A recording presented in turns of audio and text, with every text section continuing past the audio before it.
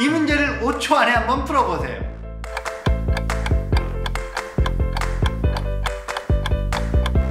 도형은 문제를 보면 무시예요. 위치 무시. 안녕하세요. 똑똑해지는 시간 캐봄 시간이 왔어요. 이 문제를 보고 색칠된 곳의 면적은 얼마일까요? 이게 문제인데 뭐 어렵지는 않죠. 하지만 이렇게 따로 따로 따로 따로 면적을 구해서 더해도 답은 나오는데 우리는 수학 문제를 봤을 때 항상 생각해야 할 거. 어떻게 하면 쉽게 풀 수 있을까? 이거예요.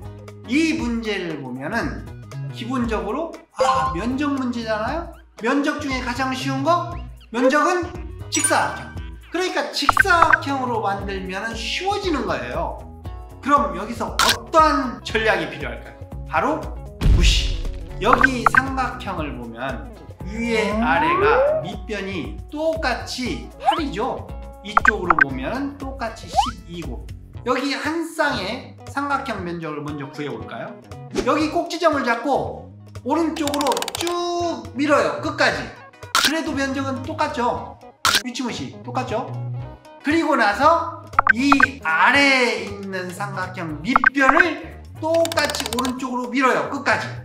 그런 다음에 여기 중점을 위아래로 움직여도 면적은 똑같아요. 왜? 전체 높이가 똑같으니까.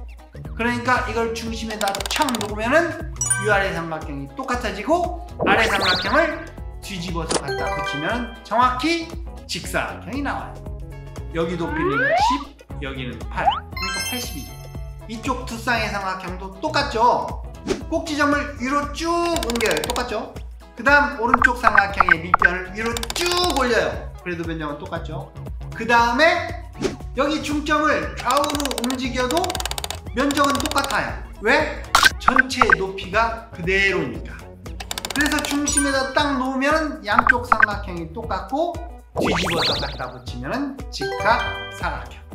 그럼 여기 25 나누기 2, 여기는 12. 그러니까 6 곱하기 25, 150이죠. 아까 값하면 답이 되죠. 자, 오늘의 문제는 비교적 쉬운 문제이지만 우리가 도형을 보면 항상 깨봉에서 하는 단골 메뉴가 있어요. 쉽고 아는 것으로. 그 중에 쉽고 아는 것으로 바꾸는 가장 기본적인 전략 무시. 놀면서 수학 만점 이상 깨봉!